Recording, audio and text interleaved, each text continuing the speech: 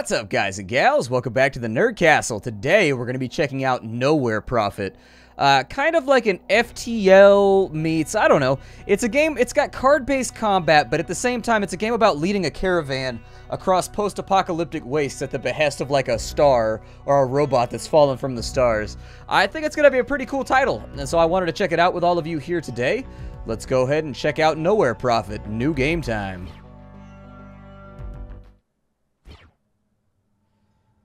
A star fell from the heavens. In whispered words coming from the dark night sky, it told me where it would land. It took me weeks to cross through Soma's wilderness, avoiding famished raiders and raving mad machines turned hostile by the crash. Most of my food and water was gone by the time I finally laid eyes on it. It looked unassuming. A dull gray sphere, scorched and cracked, but still brimming with energy. Hissing with the heat, the sand around it had turned into glass. I had spoken to machines before and made them do my bidding, but none had been this powerful, this keen. But it was dying. With flickering blue light, it painted a mandala of reverence into the dusty air. In this fractal sigil, I could see glimpses of ancient knowledge from before the crash, and then it spoke to me. This world is lost, my care, safety, and knowledge, in the crypt.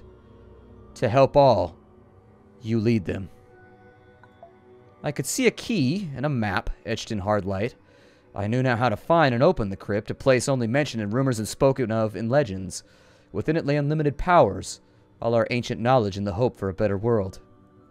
As the light slowly subsided, I could hear words of prayer and mantras spoken all around me. Others must have seen the trail of fire and heard the stars' whispers and followed it there too. Their eager faces told me that they had heard the machine speak to me. The prophet, they chanted and so I had gained my followers, and together we would find the crypt. So there it is. Uh, we are Ella. These are all of our little followers right here. We've got what appears to be a card deck of some kind. Here you can find your battle-ready followers. On the left is an overview over all your cards, and on the right you can see your current deck. Click on a card to either add or remove it from your deck. The filter settings and deck statistics at the bottom will help you decide who to add or remove. You currently have no new followers to add to the deck. You can check out those that are in your deck by clicking the button down below. Okay.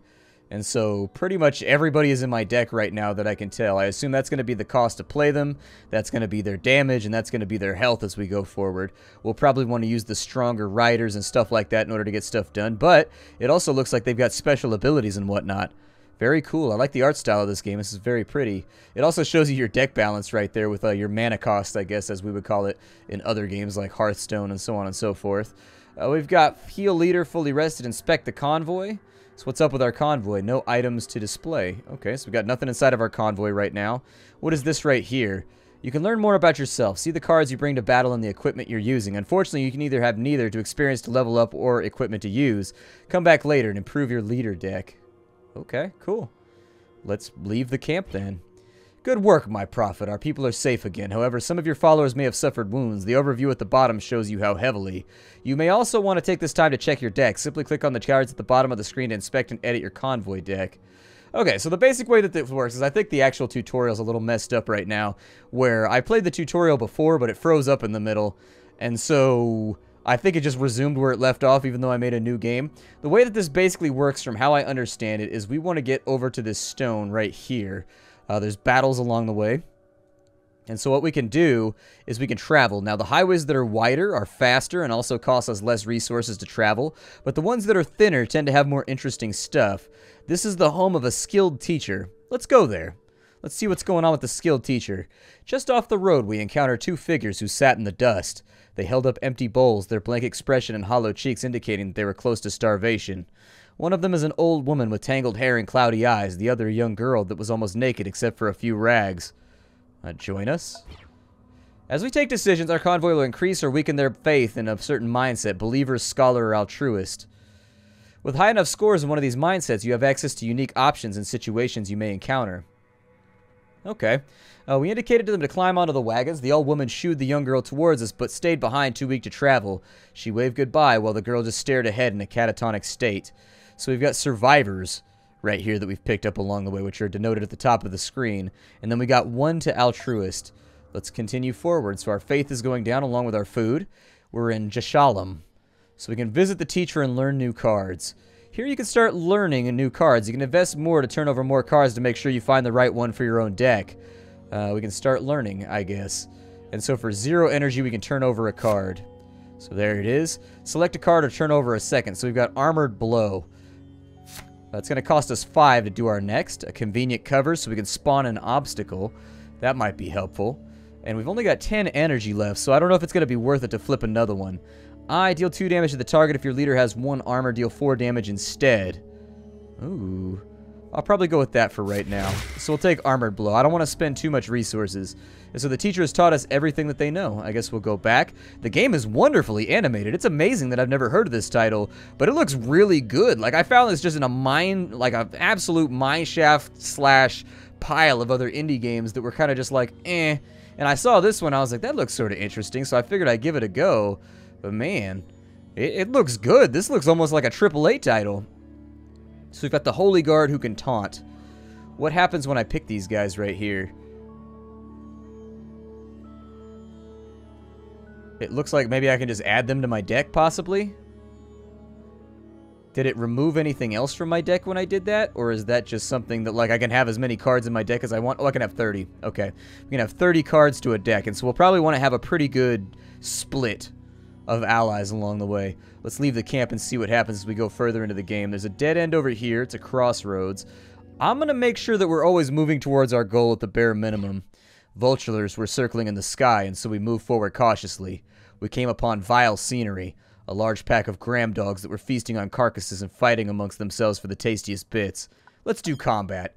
I think we've earned it a fight. Ready yourself. Yeah, it says another fight right here. It froze in the middle of my last fight. You can click on one of the cars to adjust your convoy or leader deck before we can face our enemy, or if you're ready, just jump into the fray.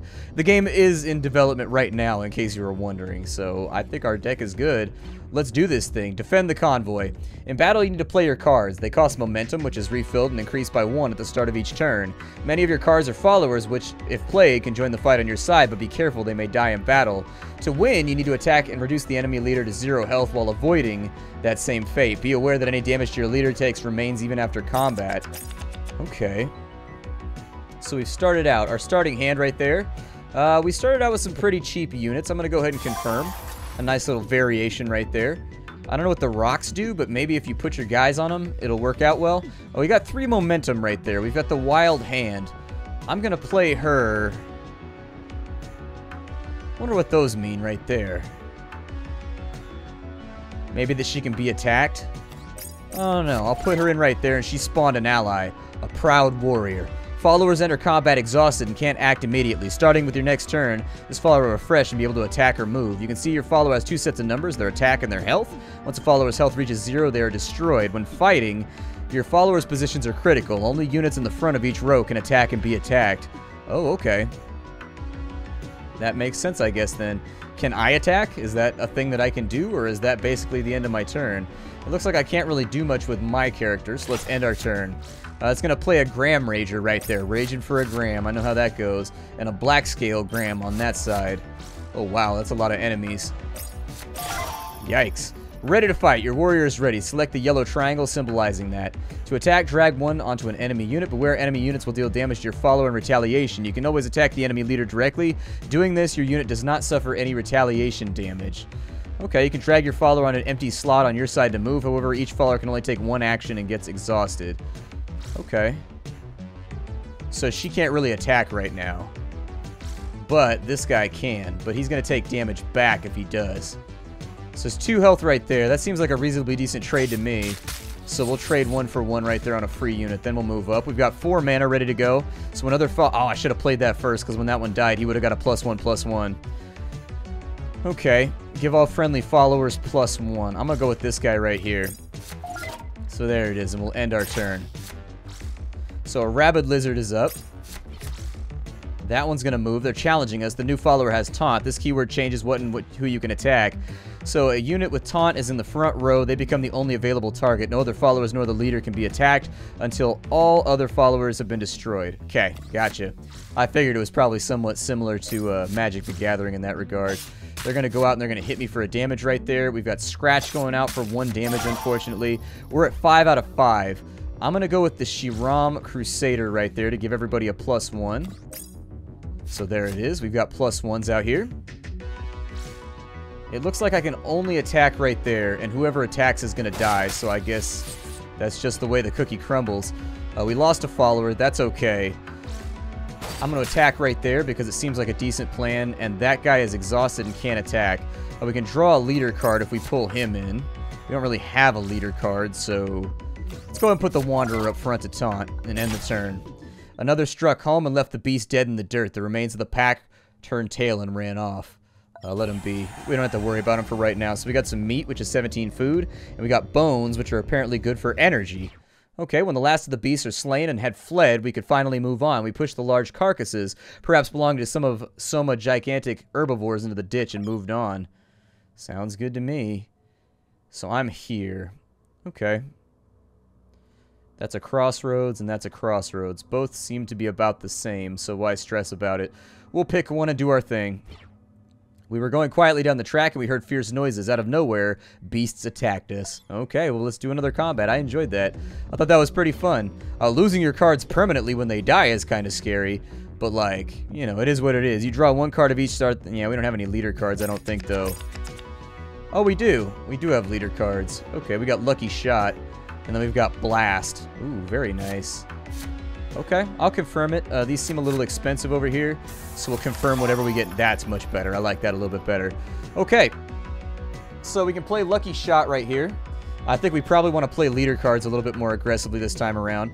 Let's go with a Shiram Defender right there. I wonder if that works only when she's played. I probably should have played her last if that's the way that it goes, but we'll find out in just a minute. We've got a Black Scale Jiram right there, a Jarun Climber, We've got Scratch going out to one of our characters right there. It's unfortunate. Not my favorite thing that's ever happened. But I can fire off a quick shot right there for one mana. So I'm going to do that. And then I can do a lucky shot right there, which I'm going to do. Trying to keep the enemy somewhat fractured for right now and deal a little bit of damage. So with four mana, draw a convoy card. Okay, hopefully it's not a scratch. If it is, that's really going to hurt. Uh, the Giram Rager is back out. A Jarun Climber is back out. And that looks like it's going to be a nice little job for adjacency. Oh, we've got Blast right here. I'm going to play that. There we go. Perfect. That's exactly what I like to see. That did cost us a little bit. But if I can stay on point here, I bet that one's going to attack over here, and we're going to lose that follower. Ooh, a Januar Bear. Okay, I wonder what charge does. Probably means they can ignore taunt if they want to. It said at the beginning of this game, you guys didn't get to see it, but at the beginning of the game it said expect to fail. So there's a kill right there. We got a little bit of mana going around. I'm going to do one damage to all... Ooh. Yeah, go ahead and headbutt that fool. There it is. Done. So we've got victory on that side. 19 food and 2 bones. Very good. The broken bodies of the beasts surround us, and we were lucky to be alive. I like this game a lot, actually. I'm having fun with this. I'm a big fan of card games. I don't, in general, play a lot of, like, uh, ooh, we've got domes over here. It's difficult terrain, so it'll take longer. Oh, we can't get over there unless we back travel. Let's back travel. We've gotten a bunch of bonus food. Why worry about it? After another long day on the road, we came to an end, and when a spotter pointed out a large shape off the path, it was a giant blood tree with its enormous branches stretching into the sky. We reached it after a while, and there was enough space in between its titanic red roots to set up camp. We slept well, and were guarded by an ancient spirit. Okay. And we got a bunch of food, so that's perfect. So what's up with these domes right here? Our scouts have reported that we were near a larger structure that was also marked on the map. We could drive our vehicles right up to it and gaze at an assembly of large geodesic domes, or geodesic domes, that were connected to each other. There was a breathtaking amount of plant life growing both around and inside the buildings. A slightly more sturdy tower stood in the middle of the domes. We can sense inside. Let's maybe go in? We entered into the compound through one of the larger dome's doors. The air was very humid. We had to hack our way through the undergrowth. Quite a few of these plants might be edible. Perhaps we can just harvest some food and move on. Explore further. We pushed through the undergrowth towards the central structure. Behind a door that quickly gave way to some mild violence was a larger and almost empty chamber. On its other side, opposite to the entrance, we could see red lights flashing. It was dim in the room, but next to the lights, several turrets were mounted with energy weapons. Uh, we'll leave. I don't want to kill anybody off on accident. Uh, we can check our convoy status right here. We've got some bones. I assume that we can use these. Oh, we sell them for batteries. Gotcha. Cool. Sounds good to me. I was hoping that this place would actually be a shop of some kind, but I guess we're just not that lucky for right now. Our followers are wounded whenever a follower is destroyed in combat, but it can be caused by events. You can see wounds in the red slashes that appear on their portrait. Four wounds and they are lost forever. Make sure to take care of your people and rest.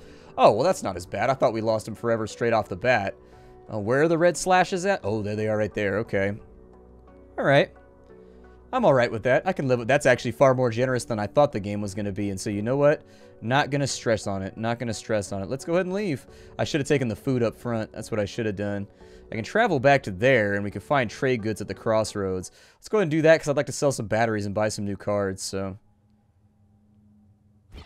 Alright. So after we made camp, we found an old shack nearby. When we searched it, we found some valuables. We got some plant fibers and some bones. Let's go ahead and rest on up. And then over here, we've got a crossroads. Right there, we've got a beast nest.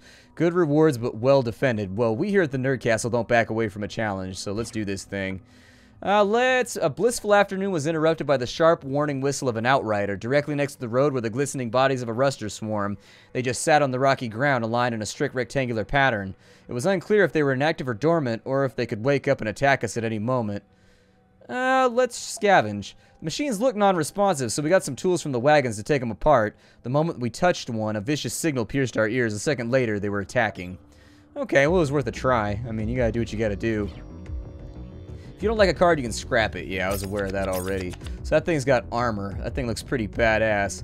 And we've got a neural shiv. Not bad. Uh, let's get rid of the warrior monk and try for something a little cheaper. So there it is. We got a holy guard. I'm to play him up front. Perfect. And we'll end our turn right there. Uh, there's a razor right there. Okay, another razor. It looks like this is to be some kind of swarm deck, which is a little bit unfortunate. Uh, I could draw a convoy card if I want to right there, but I don't know if that's a wise decision at the moment. I could play a taunt card. We can kind of... Yeah, let's go in hard for right now. We're a little bit behind the draw game, but it's like, what are you going to do about it, you know? Start off with a little bit of pain over there. Do what you gotta do. So burst fire is gonna go out, so that's... Ooh. Yikes. That's a big time wipe right there. I didn't know that he had stuff like that. So we got Forbidden Secrets. We got an Enforcer, deal 2 damage to all its neighbor units. So we want this guy to kind of be off and by himself. We don't want him to be next to anybody if we can help it. We take down a drone. The rest seem to evaluate the situation and attempt to withdraw. Uh, let him flee. We can't afford to take too much damage like that. I'm not going to get greedy. So we got a smart rifle. Very cool. Uh, we got some batteries, 31 of them, and some machine parts. Hell yeah. The enemies have faltered before our power. Bucka, bucka, bucka, bang, tang. Oh, we found some useful equipment. Yeah, let's do this thing. Uh, so I'm going to use the smart rifle right there. That's going to give a shot. Okay. Can I take both smart rifles? I can, and so we got shrapnel rain off of that one. How is this smart rifle any different? So it gives us one shot and two shrapnel rains. Oh, destroy all wounded followers. What does shrapnel rain do? Where is that at? Shrapnel rain. Destroy all wounded followers. My followers or his followers? Hopefully his followers would be my would be my prayer right there. All right. Well, let's continue forward. Uh, we can double back and we can go for, what is that, a camp? A safe place to camp. We don't need that. Let's head on down the road. We'll be good. Uh, we got attacked again by savage beasts. It looks like we're going to have some fights on our hands. Let's do this thing. Alright, so with our starting hand here, got a battlefield medic. I don't think that's really going to help out too much. But we've got Bandit Sapper right there, which is pretty sweet. We got unarmored, or we got armored blow, and we've got reinforced. I'm gonna get rid of both of those and just kind of see what we get. So we got shot right there, and we got lucky shot. Both of those are pretty solid, and I'm more than happy to use those. I'm gonna put down a sapper for right now. There's two damage to the enemy. Cool. Black Scale Garama's down. He's gonna be a little bit further back, which I think means he can't be attacked. That one's going to be right there. They're going to play Scratch right there, which is great because I was planning on hitting right there, then playing the Medic. So that basically blocked that off before this got any worse. With four right there, we can deal four damage. We can deal six altogether. I'm going to fire a shot right there. Fire a shot right there. We're going to keep this DPS going. Hopefully it'll try to retreat. Uh, Jeroen Climber right there, who's actually Rend. That's an expensive little ability he decided to play. Okay, I'm going to put in an Enforcer. play something big right here. I don't think it matters. Oh, he deals damage on the turn he spawns. I thought it was okay after he deals damage. Good thing to know. See, there's very there's varying specifics to a lot of these cards that you got to figure out before things get any worse. Uh, we got the ability to end this thing right now, so I'm going to put Holy Strength on him. There it is, and we're just going to finish this thing off. Down they go. Victory for us. We got 26 meat and some hides and furs. If we ever find a place to sell this stuff, I think we'll be in better shape. But for right now, we noticed a strange smell in the air. Eventually we saw the cause. An entire section of forest was on fire. There was a large river between us and the fire, so we could enjoy the wild spectacle of the flames before they burned through the night. Okay, decent enough rest. I gotta see you gotta take entertainment where you can get it in a world like this. Got combat up in front of us.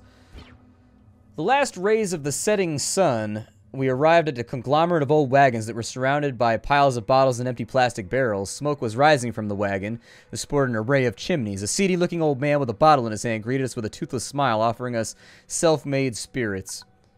Why not? We got tons of batteries. Uh, we decided to lift the mood in the caravan by purchasing the alcohol. For a handful of batteries, we received a crate of bottles with the milky and reeking liquid. We made camp later in the day and passed around the bottles. The milky substance had a strong taste, but was mild enough to create a pleasant, relaxed atmosphere. We complimented the old man on the creation and drank through the crate in an evening full of drinking and laughter and much needed joy. We woke in the morning, we could barely walk, he was nowhere to be found. Cursing our foolishness, we moved on from the distiller. Oh, I thought we would get spirits from that. We lost spirits. Uh, let's go ahead and bust this place up. We're almost at the place we're trying to get to. A blissful afternoon was interrupted by the sharp warning whistle of an outrider. Okay, uh, let's strike first. We couldn't allow such a large force of rusters to suddenly wake up and attack us from the back. Ayla gave the sign to raise hell and obliterate the dormant machines. When the first of the machines were obliterated, the swarm was activated immediately, returning our fire fiercely. Okay, hopefully we did some damage right there. Got armored blow and static damage. Okay. Those are a little expensive, so let's not start out with those. Let me see what I can get out here. We got to be able to get something better. So we started with shot. Uh, I'm going to take the uh, Wild Hand right here, because that gives me a spawned beast, although it did it in a dumb spot. I would have spawned it right there. That's troublesome.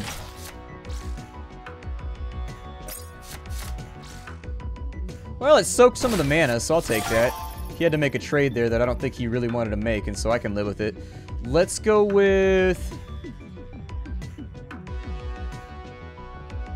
We've got four mana, so we can't really do anything combo related here. I think it's in our best interest to play something heavy, so that's what I'm going to do.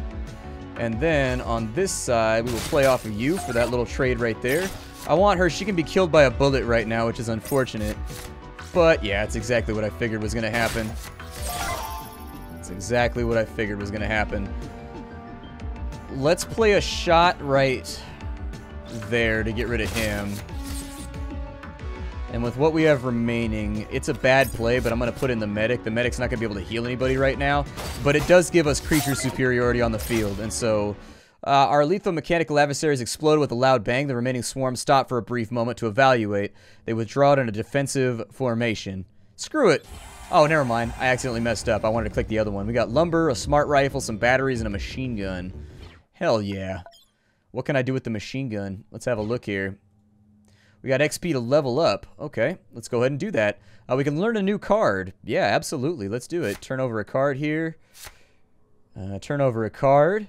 So Merciless, destroy all followers with attack 2 or less. That's a really good reset ability. Uh, in general, board control is dictated by resets if you get behind the curve, and so I like resets a lot when I play games like Magic the Gathering, because it gives you a do-over if you otherwise don't have that option. We can also get Rend, which is 5 to a target follower, which is pretty good. Let's go with Merciless. Um, I think a, a, board reset is a good thing to have in your deck at all times. And so there it is. We've leveled up and we've gotten a new deck. Uh, with the smart rifle right there, what does the machine gun do? Full auto and burst fire, but damn is full auto expensive. That's really expensive. Burst fire is pretty solid, though. What does that do? Two damage to all units in a column? That's not terrible either if they decide to line up on us. We'll lose two shots right there. I think I'll replace this one. We'll go with, yeah, equip that right there. So we've got a machine gun now. I assume that that graphic is just not finished. We'll go to Mineral Springs. Alright, so Muvatunsa. The warm springs were simply pristine. The heavy mineral smell made the head heavy, but the water was comfortable and soothing. Multiple sets of animal tracks could be found at the spring's shore. Um, Let's follow some tracks. Why not? A group of hunters eventually caught up with the animals and gave us 20 meat. Very nice. I'll take that. Uh, my suggestion would be to... Yeah, let's heal our followers. Let's go ahead and do that. Now we can inspect the convoy. I don't think there's anything... Oh, I can recruit new followers too. Yeah, let's recruit some followers. So we've got a Black Star Saboteur and a Shifty Opportunist. Uh, yeah, recruit them. I like those. Uh, we can start recruiting again, but I think we're a little bit low on food right now, so we may want to avoid that. Is there no way for me to trade over here? I've got so many batteries, and I've got a lot of scrap and whatnot, so I'd be super stoked about unloading some of it, unless it already did it. Uh, let me take a look at my caravan. Let me see what I have. No, we still, we still have it right there. I wonder how we sell this stuff. So I can dismantle that more than likely for batteries would be my estimate. So I can sell those for batteries whenever there's a shop, but I guess there's no shop here. I mean, it looks like a city to me, but I suppose that's that. I don't see anything around here that says shop. Because I definitely wanted to trade for some food if I could. Uh, yeah, put those guys in the deck, please. We're a little bit heavy on expensive cards, but eh, oh well. Uh, we've got some enemies. Now let's shoo them off. We had to get the beast off the road, so we lit torches and tried to make movement. Uh, they charged us. That's fine, because I need food. I'm okay with a fight right now. Sounds alright to me. I am 100% okay with a fight.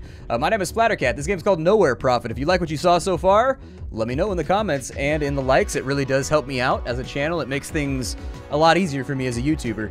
Um, I will see you all later. If you wanted to see more, uh, check out my Patreon. If you wanted to support me, if you wanted to see more, let me know. And if you wanted to see more on stream, Twitch TV slash Splattercat Gaming is where I do my business every single day at 3 o'clock. Same cat time, same cat channel. See y'all later. How do, everybody?